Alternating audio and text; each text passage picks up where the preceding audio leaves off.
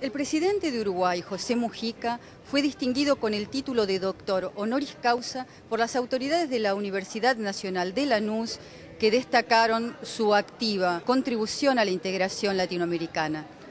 Los luchadores sociales, los utopistas, los soñadores, yo lo veo como un homenaje a ellos.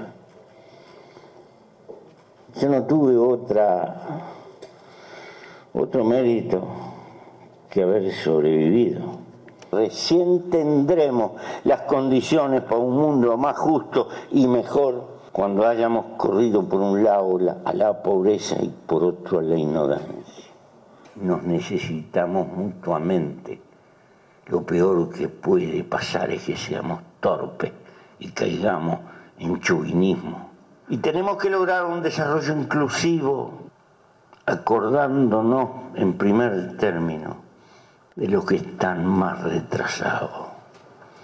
Cuando digo inclusivo, inclusivo dentro de las naciones, los indigentes y los pobres primero, después inclusivo entre nosotros. Y no es sencillo, está lleno de dificultades, pero eso es parte de la lucha. Y tenemos que aprender a manejar nuestras dificultades con inteligencia y ser paciente, ser creativo y tratar de construir economía complementaria, no solo empalmar las carreteras y las vías, juntar la electricidad, construir un gran sistema eléctrico que nos abrace a todos.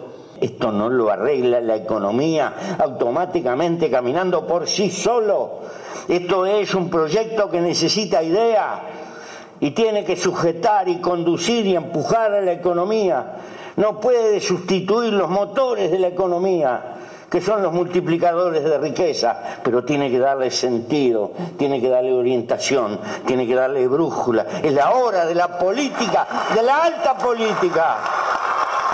Es un gran reconocimiento que Ana Jaramillo y la Universidad de Lanús le hacen al gran presidente que tiene la República Oriental del Uruguay. Fue un placer escucharlo, nos ha dejado una profunda enseñanza, un militante, un hombre con tanta historia, con la responsabilidad institucional que tiene y con la gran sencillez y el gran conocimiento de la historia. Esto de andar revisando el pasado para certificar el presente y proyectar el futuro es un gran desafío.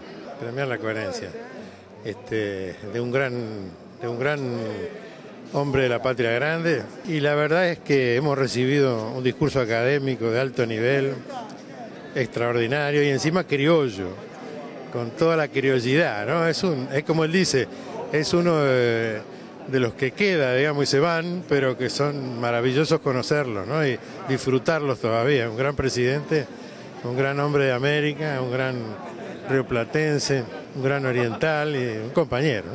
Nosotros trabajamos para el pueblo, queremos una sociedad más justa, queremos homenajear, está en nuestro estatuto, el homenaje a aquellos pensadores nacionales que justamente tenían estos valores de la distribución de la riqueza, que pensaban en la defensa de la soberanía nacional y popular, o sea, también democrática. Y bueno, todos aquellos que, como decía Jaureche, formamos hombres y mujeres para la patria o queremos hacerlo, eh, este, este presidente de la República Oriental del Uruguay se lo tiene más que merecido, de hecho fue por unanimidad y nadie dijo absolutamente nada más que lo habrán visto el amor que le tienen acá en la Universidad de Lanús.